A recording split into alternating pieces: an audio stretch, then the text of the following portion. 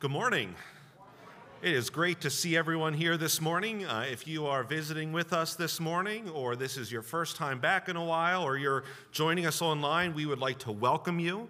Uh, we are glad uh, not just to see uh, new faces or familiar faces, but uh, everyone here. Uh, I was just talking with Bill what a blessing it is and what a privilege it is to gather together uh, to hear from the Lord in His Word and to lift His name high. And, uh, and that's what we're going to do this morning. A couple of very brief announcements because I'm just excited to move on with the service at this point. Uh, we do have our quarterly members meeting uh, after the service today. Uh, so we encourage everyone to stick around for that if you are a member here. Uh, if you are not a member here or not sticking around for whatever reason, uh, I will remind you at the end of the service to try and leave uh, quickly so we can get to the, the boring business stuff at hand. Uh, I want to thank the Women of Grace for their ministry to us on Tuesday. Uh, they deep cleaned the nursery. I mean, they pulled out every single Duplo block and scrubbed it down. So thank you for doing that uh, and, and keeping that uh, room clean and sanitized there. Uh, Rick Garfola is going to be out in the lobby again after the service. Uh, signing people up for the blood drive. We had quite a few sign up last week. I think we're about a third full at this point. Um, and uh, so see him after the service. If you can't stick around, if there's a line, if you just give him a couple pieces of information, uh, he will call you and set up a time uh, later on this week. Uh, and then finally, uh, two weeks from today, I will be starting that third Sunday school class. There is a sign up sheet out in the lobby. please sign up. If not this week, next week. that way, we have no surprises uh, and we make sure we have enough room for all three adult Sunday school classes. Uh, and we will be looking at different areas uh, of what we believe of doctrine uh, and who God is, what He's done for us, uh, how the church is supposed to operate, what, what's going to happen yet in the future. Uh, and uh, it should be a great time. I'm, I'm biased in saying that, but hopefully, there'll be some great discussions there. Uh, but if you are new to the faith, uh, or if you've been a believer for a long time and uh, just want a refresher course on some of these basic truths of the Christian faith, uh, we would love to see you there. Uh, and I do ask that you sign up for that so we can have the space as needed. but we are here this morning to lift our voices together, to rejoice in God's great blessings in our lives. And of course, first and foremost among them, uh, is the Lord Jesus himself uh, with his death, burial, and resurrection for the forgiveness of our sins. So, would you please stand uh, as we sing this morning uh, how he has made us glad?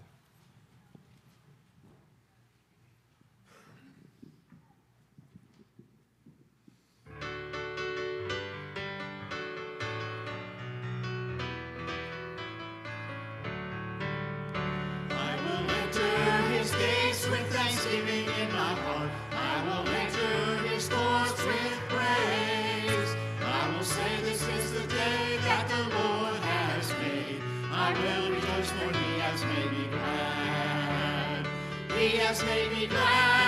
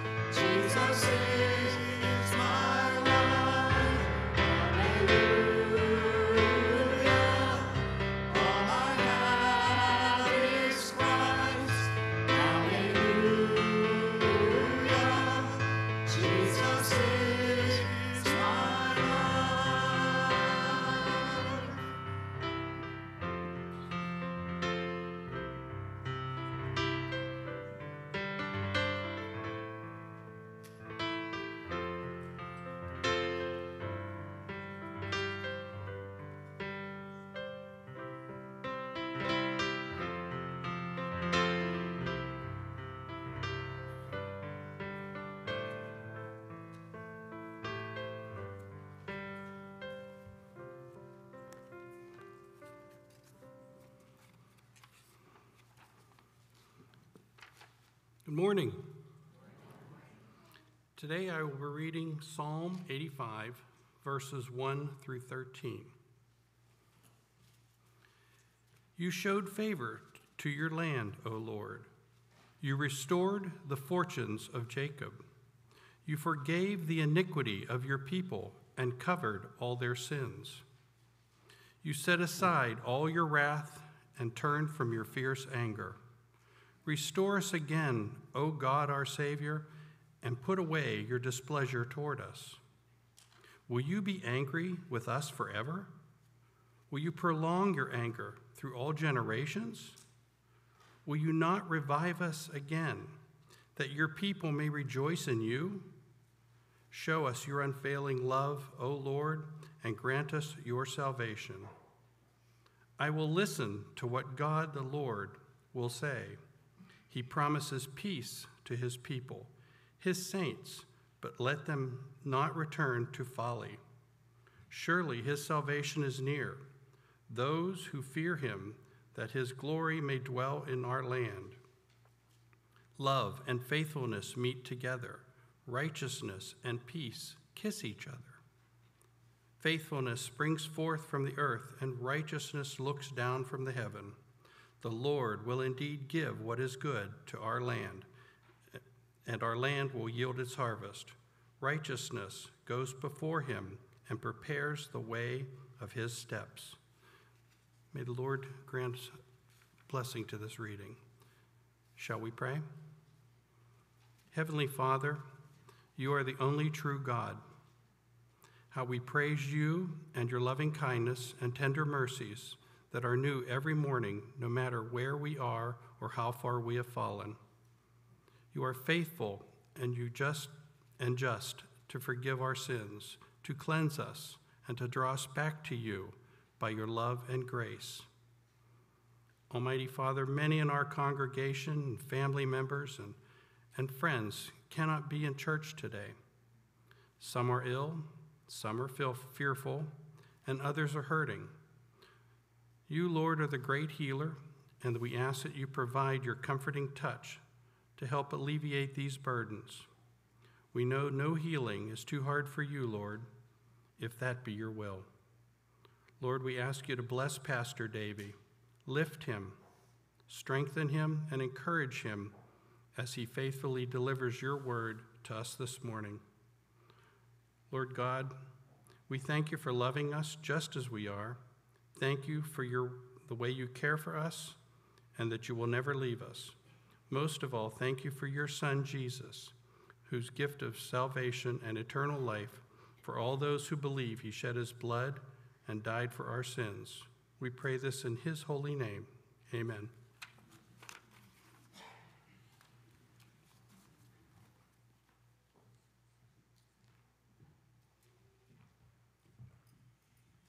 If you would please stand. Oh, for a thousand tongues.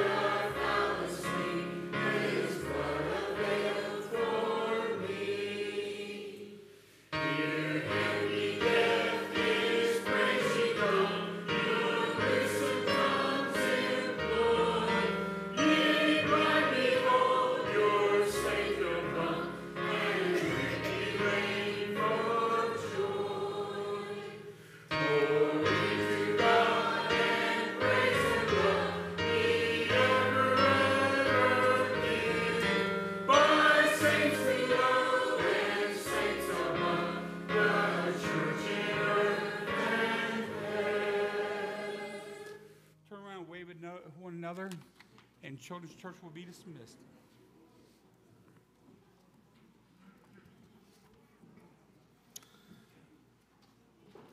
If we have to start sitting any closer, your waves, you're going to inadvertently shake each other's hands anyway.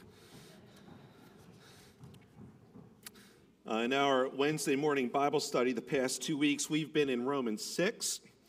Uh, and now, the theme of Romans, uh, for those that uh, haven't made it out yet uh, on Wednesday mornings, uh, the theme of Romans deals with the righteousness of God, our need for that righteousness, uh, the, his provision of that righteousness, uh, and the permanency of that gift once given. And then at the end, how we should live out that righteousness in our daily lives. And we saw in Romans 5 a couple weeks ago, Paul makes the statement where sin abounded, grace abounded much more. And he says that in Romans 5, verse 20. You know, in other words, if grace is needed uh, where sin is involved, then a greater amount of sin requires a greater amount of grace. But as we turn the page to Romans 6, we saw Paul anticipate someone misinterpreting or misapplying what he just said.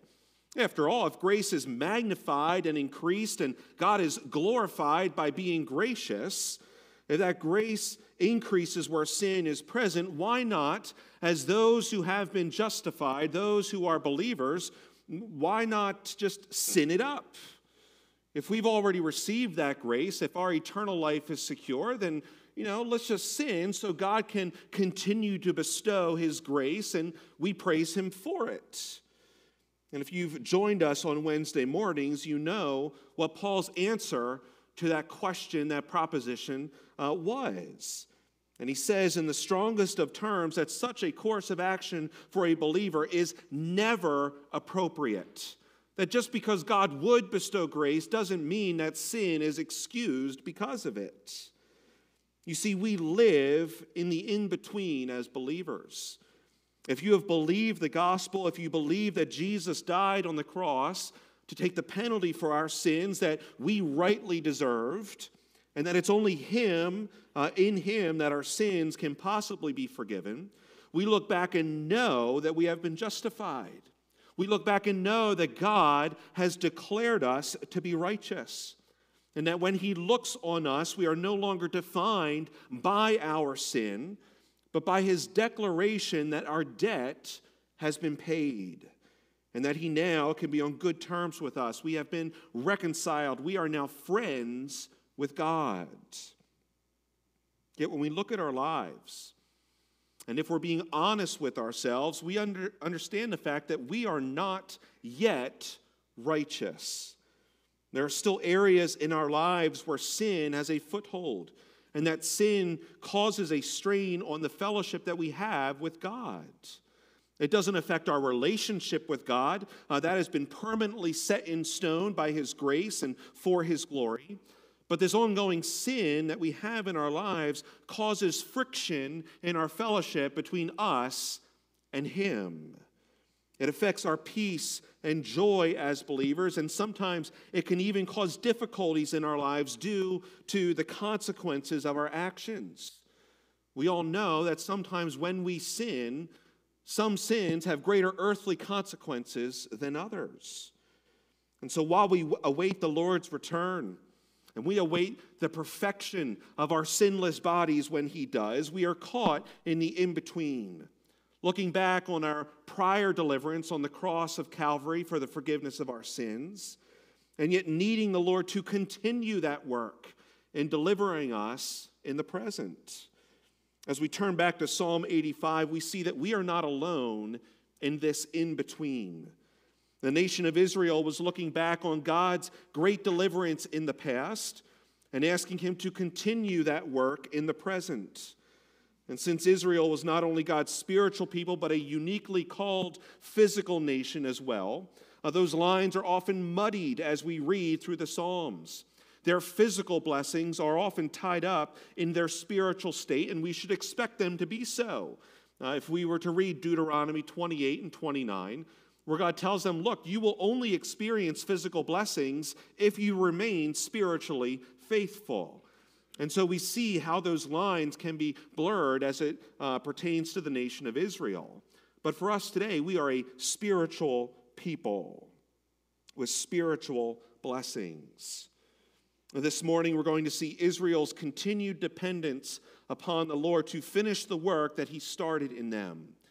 And we'll see by extension that even as believers today, we must continue to look to Jesus to finish the work that He started in us. But before we dive into the word, would you bow with me in a word of prayer? Heavenly Father, as we come before you, as we draw near to your word, we ask that your Spirit would illumine its words to our hearts and minds. We know that your word is timeless, that it speaks to us in our circumstances centuries upon centuries later. May our eyes be drawn to you.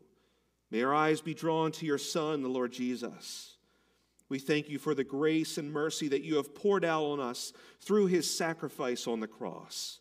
May we rejoice in him and his work this morning, and we pray this in his name. Amen. If you haven't already, I invite you to turn back with me to Psalm 85, which Rick read for us earlier. Uh, it is important to me that you follow along as I preach or teach through a passage. I make mistakes. I don't make them purposefully, but uh, I am human. I am prone to error, and it is important that you read these words for yourself and allow the Holy Spirit that dwells in every believer to teach you these things. And if I am found in error, that you would come to me and correct me. Uh, and so I, I, encourage you always to turn with me uh, where I turn uh, and, and follow up and make sure that what I say lines up with what the Word says. And as we turn to these Psalms, as any passage of Scripture, uh, we, we strive to put them uh, in their original context what was going on when this was written. What was the culture like? What was going on in the history of Israel or, or in the Greek and Roman era in which Paul and the apostles wrote? Now, many of the misunderstandings and misapplications of the Word of God take place because the reader doesn't understand the context in which a particular passage was written. So we don't apply the book of Numbers the same way we apply 1 Timothy. The book of Psalms is different from Revelation. Context is critical in understanding and applying the Word of God. So we usually begin in our Psalms by trying to determine when and why it was written so we can gain a fuller understanding uh, of the purpose of its writing. In the past three and, a, uh, three and a half months, as we've been in the Psalms, we've seen Psalms written during the exiles to Assyria and Babylon. Uh, we've seen Psalms written before those exiles take place. Uh, and in a few weeks, we'll get to one of my favorite Psalms, Psalm 90, which was the only psalm written by Moses, uh, which would have been written nearly a millennium uh, before many of these other Psalms. But Psalm 85 doesn't have enough indicators to tell us definitively uh, when precisely this was written. But as we uh, read through commentaries and see what other people with lots of fancy letters behind their name uh, have to have to say. Uh, there are two general guesses as to when uh, this psalm was written. And the one that makes the most sense to me, if we were to nail it down, or at least assume for the sake of argument, is that this psalm would have been written in a scenario uh, such as the period in which Ezra and Nehemiah ministered caught in the in between uh, of what has gone in the past and what is yet to come. And now, perhaps this is not the case, and I'm not willing to be burned at the stake for this particular uh, understanding of it, but circumstances such as that would make sense. And if you think back to the time of Ezra and Nehemiah and what was going on in the nation of Israel at that time, and in particular, if you think back two years uh, when we were in Nehemiah, the Israelites began to return to the land after their exile. Uh, due to their disobedience, the northern kingdom of Israel was taken captive by Assyria in 722 BC. Uh, and as the years went on, a, a, kingdom to the south, that of Babylon, rose up uh, and, and gained power and captured Assyria and took all of their exiles down to Babylon. And in Babylon itself went into the southern kingdom of Judah by 586 BC. And because of Judah's disobedience, uh, God allowed Babylon, or decreed Babylon really, uh, that they would take the southern kingdom of Judah into exile as well. And so by this point, the Israelites were out of the land, and God had removed them because of their disobedience and sin. And yet, those exiles that we read about uh, in the prophets uh, weren't meant to be permanent. The Lord told Jeremiah the Babylonian captivity would be 70 years. And sure enough, by the time 516 BC rolled around, uh, there are decrees being issued that are allowing Israelites to return to the land uh, and rebuild. And so we'd have, if we were to apply this to this psalm in this way, uh, we'd have God's past work as described in verses 1 and 3. And I actually prefer the way that the NIV uh, version, like the NIV, translates it uh, in the simple past tense. Uh, Psalm 85, verses 1 through 3. You, Lord, showed favor to your land. You restored the fortunes of Jacob. You forgave the iniquity of your people and covered all their sins. You set aside all your wrath and turned from your fierce anger. Now, again, we don't know uh, definitively when this was. Uh, I see this nicely fitting in with the return of the exiles back to the land. And the psalmist is looking back on God's past deliverance, and he says that not only has there been some restoration or return with regard to the land, but that the sin had been dealt with. He forgave their iniquity. And the Hebrew word here for forgave is this idea of lifting something up. And it's a great picture of what God has to do with our sins and, and really what our sins are to us uh, there, there is this heavy burden uh, that their iniquity has caused. The sin is weighing them down and crushing them, and God takes it and He forgives them. He lifts it up off of them, He removes it from them. Psalmist also says that He has covered over their sins. And this isn't just a, uh, a blanket over them. Oh, well, I don't want to look at this, so I'm just going to take this heavy blanket here and toss it over there, covering it. I don't need to see it anymore. It's not stuffing them in a closet. It's not sweeping their sins under a rug. It's not ignoring their sins. It's God dealing with their sins. Sin must be dealt with, and it can only be successfully dealt with by God Himself. And why is that? Why must sin be dealt with, and why is God the only one who can deal with it? And the answer to those questions is found in verse 3, where he says, Sin brings about God's wrath, brings about his fury. His anger is fierce against it, it is burning and it is hot. And as we'll see in a few minutes, this isn't confined to Israel's sins and them being allowed back in the land. This is true for everyone who has ever lived on the most fundamental of spiritual levels. God hates sin, and it must be dealt with in order to have a right relationship with Him. And He is the only one who can deal with it. And He dealt with it by sending His Son Jesus to the cross. And we'll come back to this in a minute. But first, even after God dealt with their sins and Israel returned to the land, there was still an issue with them being obedient and faithful to Him. We saw in Haggai this time last year, and I just want to take a moment and say how nice it is that I can actually refer back to past things that we've been through. I'm coming up on three years now, and we can look back on pa- our, our time uh, that in, in past years in Nehemiah and Haggai, and we are building together this understanding of the Word of God and seeing how it all ties in together to tell one story. But we saw in Haggai this time last year that during the time of Ezra, when they were supposed to be rebuilding the temple, the Israelites were instead using those supplies, that, that special wood that God had designed and designated for the temple, they were using it to build their own homes and to make their own lives comfortable again. There was still an ongoing work of obedience that needed to be done in the lives of the Israelites. Look at verses 4 through 7. And I'm back in the New King James now. Looking forward to this uh, next work that God must do. The psalmist says, Restore us, O God of our salvation and cause your anger toward us to cease? Will you be angry with us forever? Will you prolong your anger to all generations? Will you not revive us again that your people may rejoice in you? Show us your mercy, Lord. Grant us your salvation. Well, we saw in verses 1 through 3 that God had already restored them. And now the psalmist is using that same Hebrew word in verse 4, asking him to restore them again. And that word comes up again in verse 6, asking God to revive them again.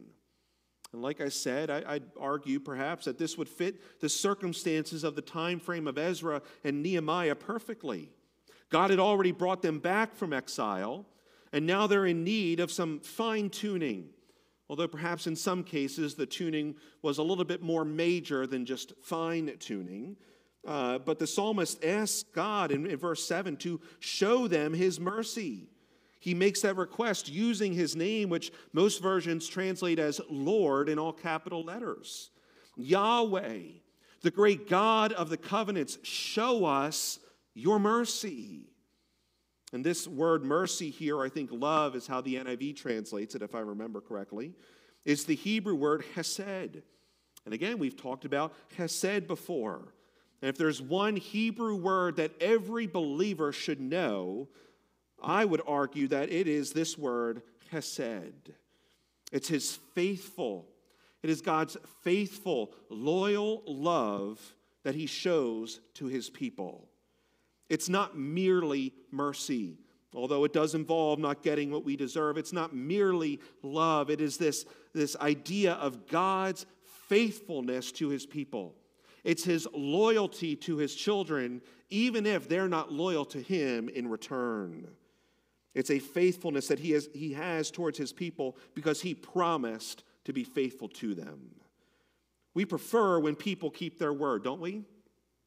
And hopefully, we all have people in our lives whose word is golden, whose word is bond. They are trustworthy and reliable. And we probably also have the opposite. We have people in our lives whose word is sadly and unfortunately worthless. There are people in my own life that I, I, I, think of when I say that. That as soon as something leaves their mouth, your first thought is, well, can they believe it's they're probably not telling us the truth, or they're probably not telling us the whole story.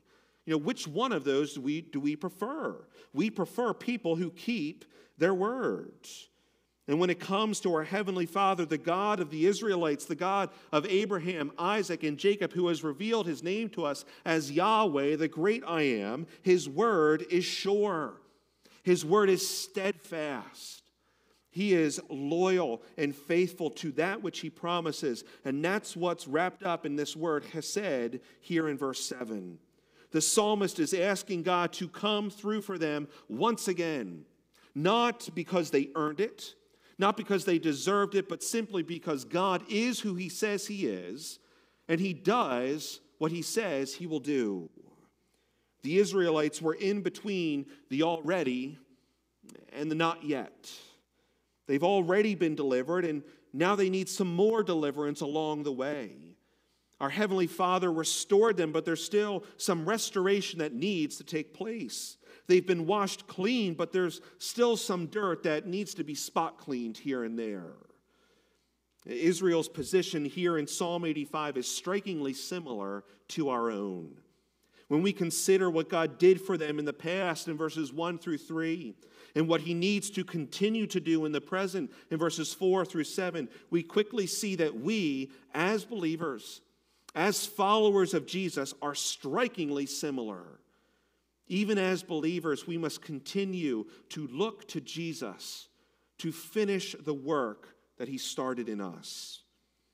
As we glance back up at those first three verses, we know that we, uh, as the church, haven't been restored to a physical land. We aren't a physical nation the way the Israelites were. Yet, as we look at verses 2 and 3, uh, they could easily be said of us where the psalmist writes, You forgave the iniquity of your people and covered all their sins. You set aside all your wrath and turned from your fierce anger. One of the necessities of the Christian life is continually drawing upon the knowledge that our sins have been forgiven. We have been delivered from them. The gospel is a foundational truth of which we must continually remind ourselves.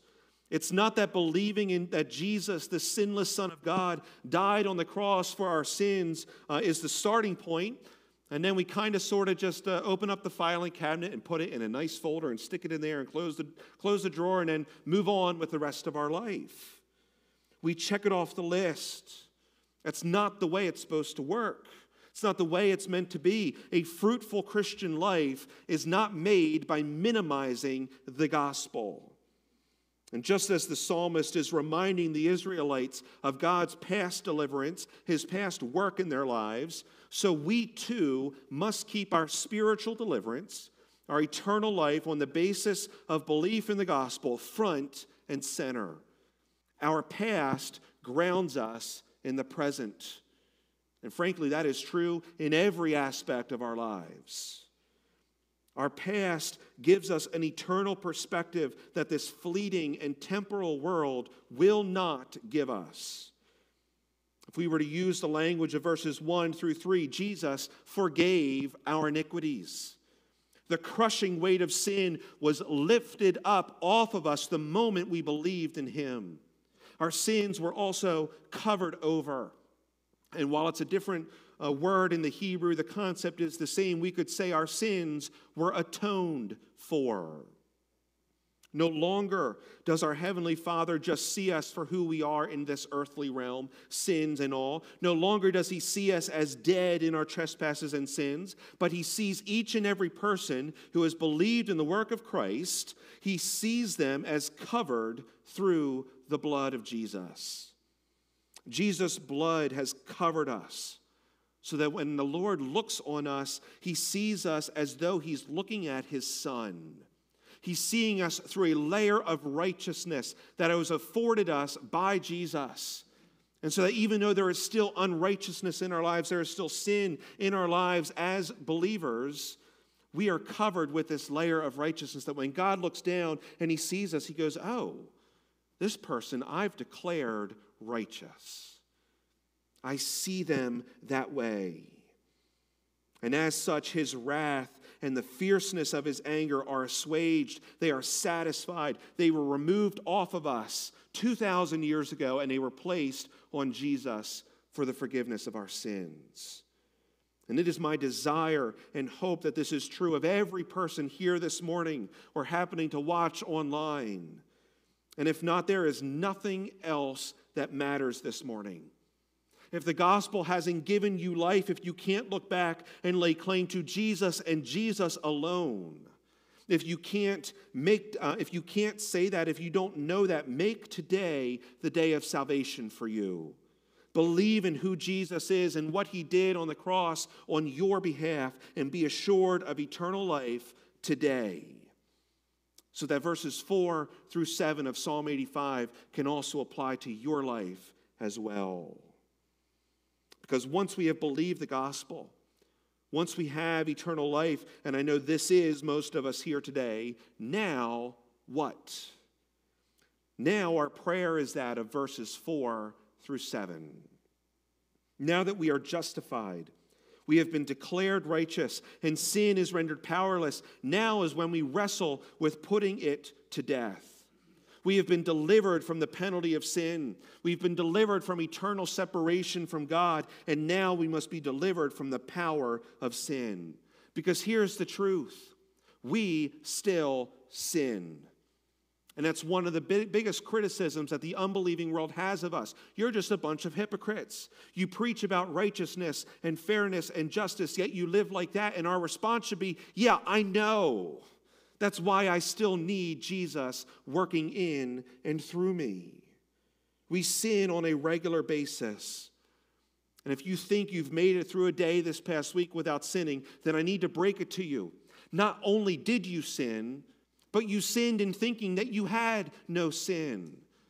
I feel like the Apostle John speaks to that in 1 John. If we say we have no sin, we deceive ourselves, and the truth is not in us. There is an ongoing need for us to go before the Father and ask Him to show us His mercy, to continue His chesed, and for Him to grant us His salvation. And you know what happens when we do? God doesn't say, Oh, you're coming to me again for forgiveness. You know, this is the thousandth, time this week you're doing this. I can't believe you're at this again. No. The Apostle John writes in 1 John 1, verse 9 If we confess our sins, he is faithful and he is just to forgive us our sins and to cleanse us from all unrighteousness.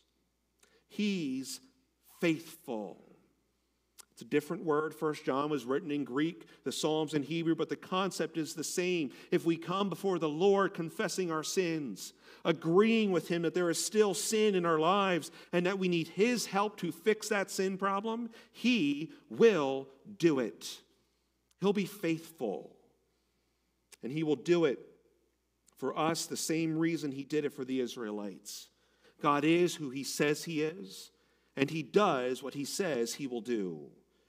What hasn't changed between Israel and the church is that the God we serve has remained the same. He is still the Lord of us all. And it's the God who is the Lord of us all that is described in verses 8 through 13. God has never changed. And not only has he never changed, he's incapable of changing. And I invite you to follow along as I read about this God in verses 8 through 13. Psalmist writes, I will hear what God the Lord will speak, for he will speak peace to his people and to his saints, but let them not return back to folly. Surely his salvation is near to those who fear him, that glory may dwell in our land. Mercy and truth have met together. Righteousness and peace have kissed. Truth shall spring out of the earth, and righteousness shall look down from heaven. Yes, the Lord will give what is good and our land will yield its increase. Righteousness will go before him and shall make his footsteps our pathway. As Israel came to the Lord, as we come to the Lord today, this is what we should expect.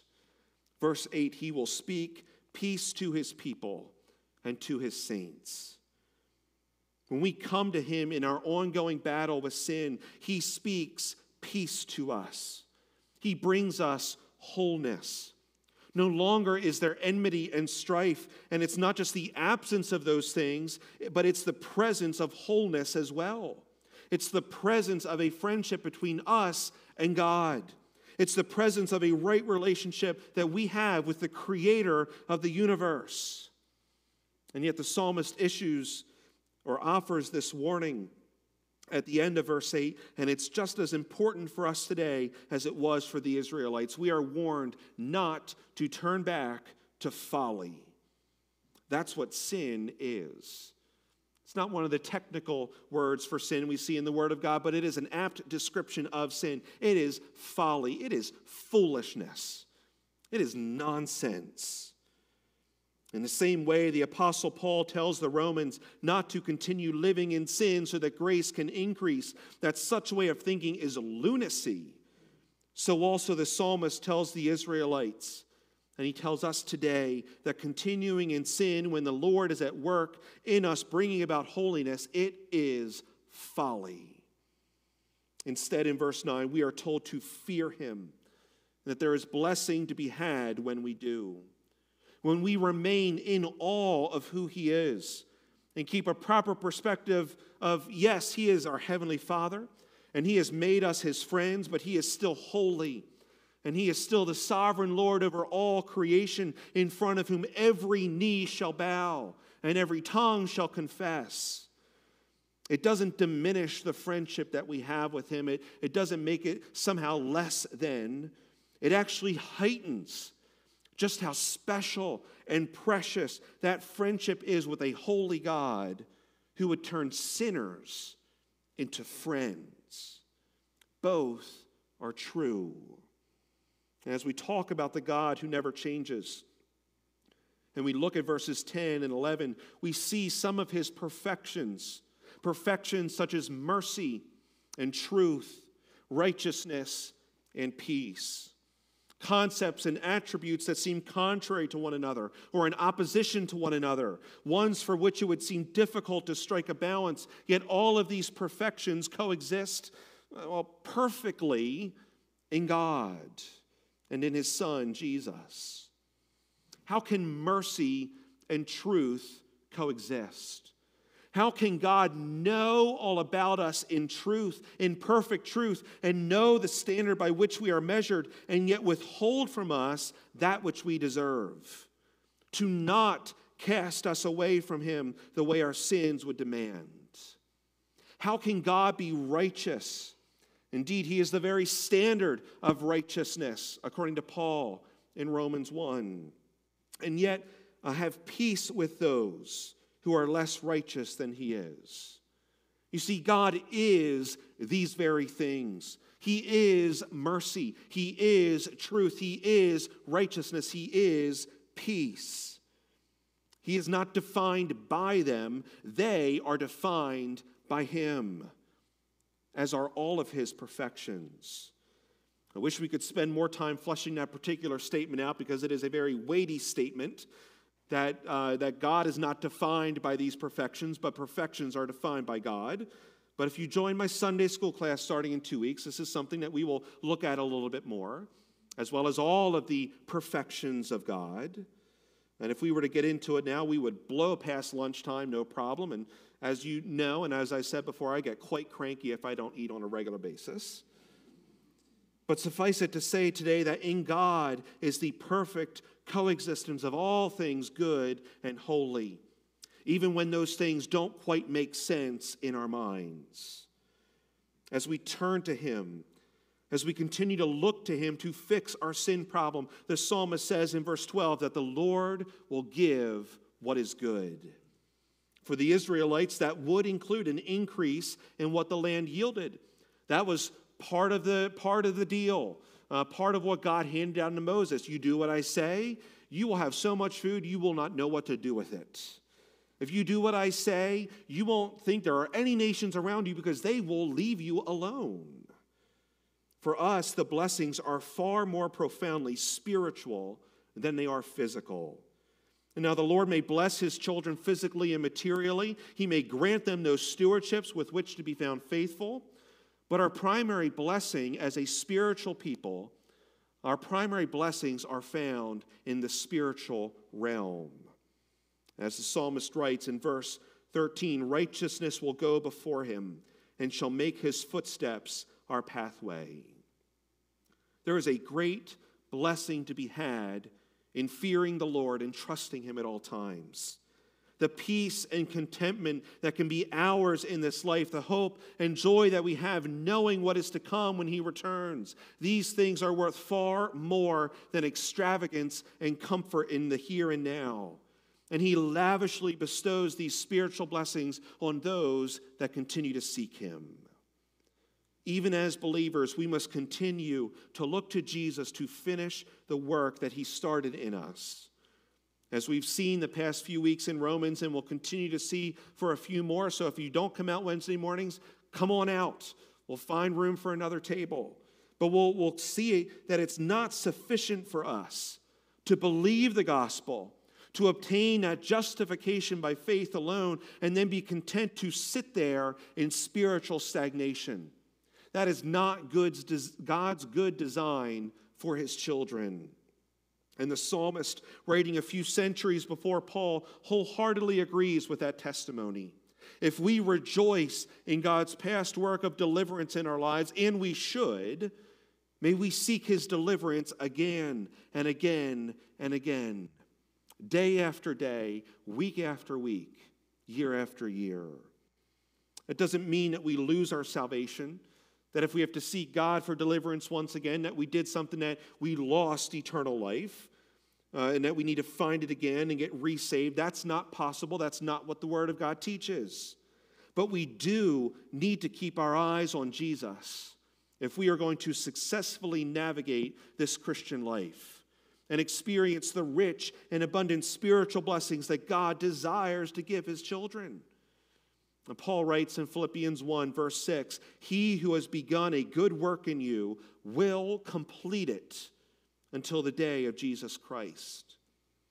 If you have believed in Jesus for the forgiveness of your sins, He is not done with you yet. There's not one area of your life with which God is unconcerned. Eh, I'm not worried about that. That's separate from the way I deal with Him. That's not what He says or how He thinks. He sees every part of your life, and He is seeking to bring every aspect of it closer to Him. And He will bring it about. Whether He has to do so dragging us, kicking and screaming through this life, miserable, wishing it would just end, or whether He does so as a shepherd, gently leading His flock through a foreign pasture, that's up to us, which path we take. Whether we want to go through this life with joy or go through this life in misery. Either way, He's going to see us through. So why not seek Him and allow Him to do that work in us that we may reap these benefits? And as I read through Psalm 85 and I think about the ongoing sin in our lives and I think about keeping our eyes fixed on the Lord, Hebrews 12 comes to mind. Turn with me to Hebrews 12 as we close this morning. In the previous chapter of Hebrews, chapter 11, uh, the author goes through a number of Old Testament saints and how their faith worked itself uh, out in their lives. And when we turn to Hebrews 12, we have a summary statement of Hebrews 11, uh, but then it's quickly followed uh, by drawing our attention to the one who is worthy of our gaze. Yeah, all those Old Testament saints were great, and they were men and women of whom the world was not worthy. But let me tell you, dear brothers and sisters, who is worthy of our gaze all the more. Hebrews 12, verses 1 and 2. Therefore, we also, since we are surrounded by so great a cloud of witnesses, let us lay aside every weight and the sin which so easily ensnares us, and let us run with endurance the race that is set before us, looking unto Jesus. Or as the psalmist would say, looking to God, looking to Yahweh, looking unto Jesus, the author and what? The finisher of our faith, who for the joy that was set before him endured the cross, despising the shame, and has sat down at the right hand of the throne of God. We must continue to look to Jesus. It's easy to see him as the author of our faith. Most of us here today are here because we recognize that our faith began with Jesus on the cross. He's the one we'll be with for all eternity. But the author of Hebrews says we also look to Jesus because he is the finisher of our faith as well. He is the one that brings it to completion. He is the one who, as Paul said in Philippians 1, that, that brings all these things together that he will not rest until he does so.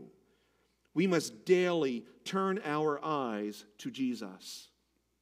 Psalm 85, Hebrews 12, both of them draw our attention to the sin which so easily ensnares us. We must keep our eyes fixed on Jesus, the one who endured the cross for us, the one who despised the shame for us and the one who has now sat down at the right hand of the throne of God, where he continually pleads our case as our great high priest for us. May we look back to the cross and rejoice in God's past provision. May we look forward to Jesus' second coming and his future provision of life with him. And may we keep those two things in mind as we look around us now and we seek to live lives that are pleasing to Him and honor Him each and every day because He is faithful. Let's pray. Heavenly Father, as we bow before you now, we praise you for who you are. You are the one in whom mercy and truth meet, in whom righteousness and peace kiss. In holiness and sovereignty, you are above and beyond all that we can fathom and more than we deserve. And yet, in your grace, in your love, in your kindness, you saw us in our helpless state and determined to act on our behalf. We thank you for your Son, the author and finisher of our, faith. May we not be content to think of Jesus merely in terms of what he did, but also in terms of what, of what he desires to do in and through us today. We thank you that you lose none who belong to you. Help us to live this week in light of these truths, in a bold and confident hope, hope that you are who you say you are, and you will do what you said you will do. We pray this in Jesus' name. Amen. Would you please stand as we close this morning's service with Turn Your Eyes upon Jesus?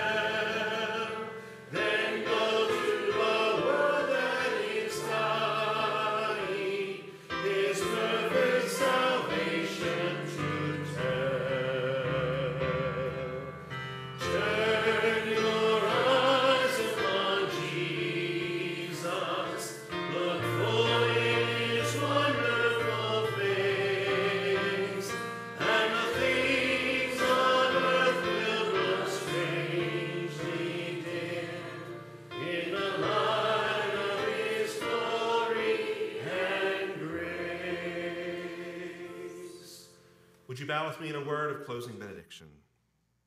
And now to him, the eternal God of our salvation, who has delivered us from our sins and who has promised to continue to do so, to him be all glory and honor and majesty forever and ever. And all God's people said, Amen. If you're sticking around for the meeting, please stick around in here. If you're not, uh, please exit quickly. Uh, and Rick is going to be out in the lobby uh, taking down information for the blood drive.